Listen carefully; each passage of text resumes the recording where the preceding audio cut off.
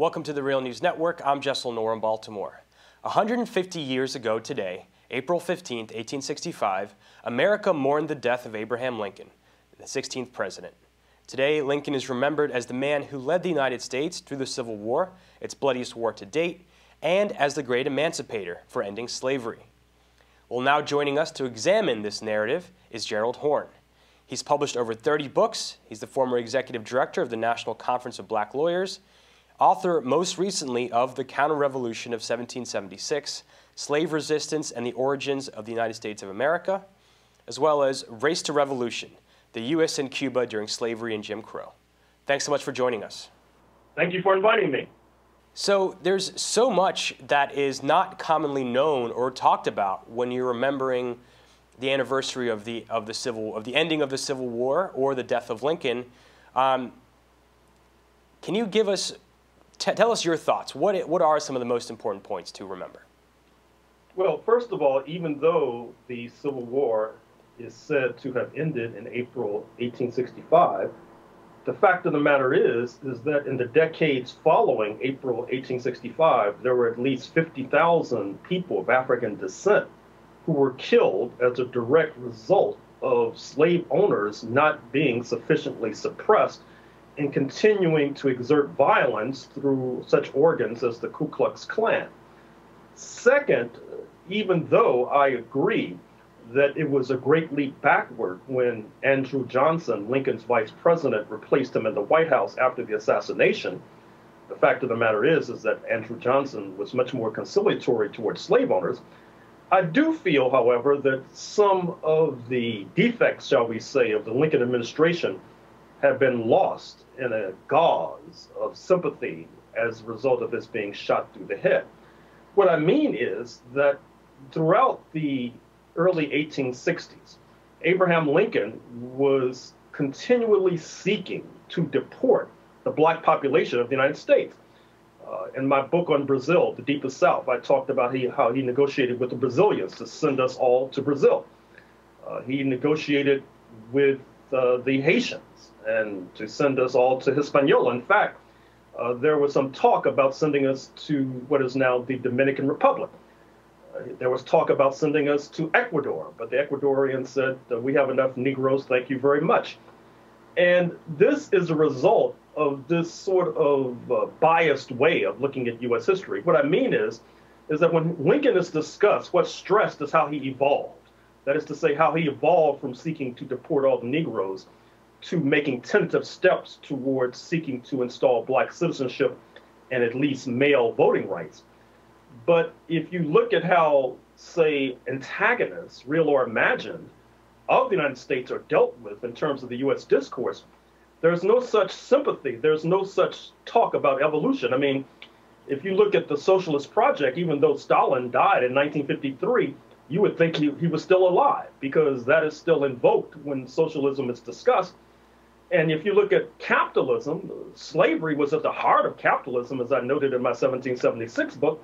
But that detail, quote unquote, has somehow been forgotten, not least when we begin to talk about the U.S. Civil War and the assassination of President Abraham Lincoln. And what about the relationship of the uh, elite in the North and Lincoln um, in, in eventually wanting to end slavery? Um, some would say for cheap, later, cheap labor um, for the industrial North? Well, when your grandchildren begin to write the history of that period, assuming that climate change does not overcome it all, one of the conclusions I'm sure they'll arrive at is that one of the major results of the U.S. Civil War was further and accelerated liquidation of Native American polities. That is to say, after the South was defeated, you had a major push against the Native American population in the United States. Indeed, as the Civil War was unfolding, you had a major push against the Native American population of the United States. Uh, you, you might recall the hanging of dozens of indigenous warriors in Minnesota in the 1860s during the Lincoln administration. You may also know that during the U.S. Civil War, there was this attempt to turn over Native American land to newly arriving immigrants uh, from Europe in particular. And that is one of the more dastardly consequences of the U.S. Civil War that's oftentimes neglected. I should also mention that the U.S. Civil War involved a basic clash between two systems. Now, initially, Lincoln, representing the ascendant commercial interests of the North, was willing to conciliate the South. That is to say, elected on a platform not necessarily of abolishing slavery, but not allowing for the expansion of slavery. But it so often happens in the United States, the right wing, that is to say, the reactionary, hard right right wing, overreached. And they kept pushing until finally declaring war on the United States government and seeking to overthrow Lincoln and take control itself. And then it became a fight to the death between the slave owning class and the commercial bourgeoisie of the North, even though we know that if you look at the history of the slave trade, the slave trade was actually financed from places like New York City. And New York City was the headquarters of a so called copperhead element, that is to say, a pro slavery element. And that pro slavery element in New York City actually slowed down the attempt of the North to fight the South and ultimately liquidate the so called Confederate States of America. Well, I think that history with New York City is so fascinating because in both elections, um, New York City actually voted against Lincoln, even though New York State ended up giving him um, the electoral votes that he needed to um, he needed to, to win the uh, both both elections. And you know there, there was of course the great draft riots of 1863 after Lincoln um, did uh, emancipate the slaves in the South, which he had no control over. Um, but I think what people don't know is the reason he had to he had to end slavery in 1863 was because he needed black soldiers to fight for the North. The North was losing up until that point, and you know because of Lincoln and the North's idea that you know blacks were inferior, they weren't even allowed to fight in the Civil War. Well, it's fair to say that the black soldiers pulled the chestnuts out of the fire for the Lincoln administration.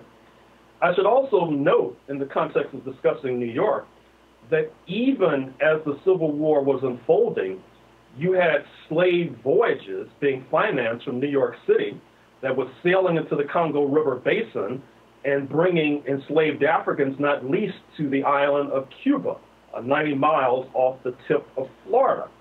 You mentioned the draft riots. This was one of the most unfortunate and tragic episodes in the history of North America. Uh, unfortunately, it's dealt with inadequately in the film directed by Martin Scorsese, Gangs of New York, which, on the one hand, does project the bloodiness of those draft riots, but on the other hand, doesn't present an adequate picture and analysis of why those draft riots actually took place. That's something that I'm afraid your grandchildren will have to deal with when they make their movie about that period.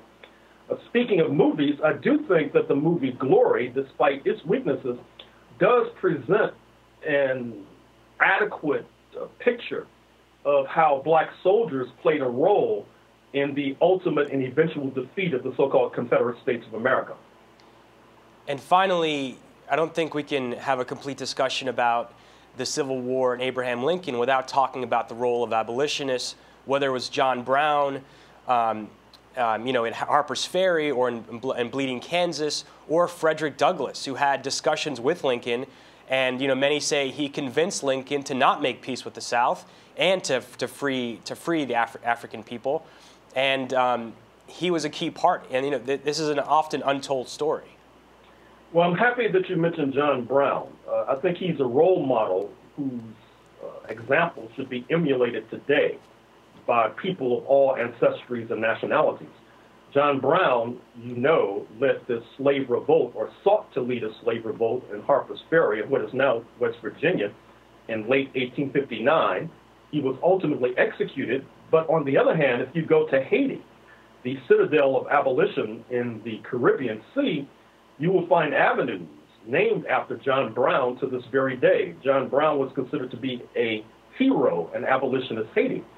Uh, speaking of abolitionist Haiti, I should also mention that you cannot discuss the abolition of slavery in the United States of America without discussing the heroic role of Haiti, not only in terms of Haitian fingerprints being all, all over the major slave revolts that took place in North America, not least the Nat Turner revolt circa 1831, but also the fact that Haiti's diplomats were continually lobbying in international arenas against the United States of America.